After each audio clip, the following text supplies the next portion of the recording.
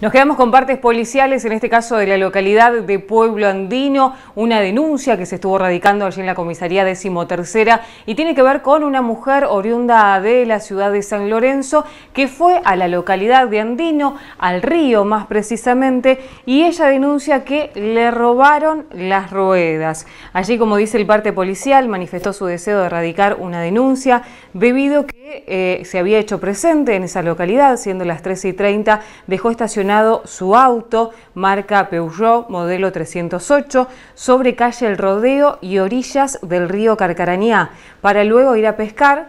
y siendo las 16 y 30 aproximadamente, regresan donde estaba su automóvil y allí observa que le faltan las cuatro ruedas completas. Ante esta situación se hizo presente un gomero amigo quien le habría prestado cuatro ruedas y luego regresó a la ciudad. Allí llevó su auto hasta, hasta el domicilio con la ayuda de esta persona que le había prestado las ruedas y que también había radicado que cuenta con el seguro de la compañía. Pero claro, al día siguiente se hace presente en la comisaría decimotercera de la localidad de Andino para radicar esta denuncia. Está todo en materia investigativa, como nos informaban desde la comisaría.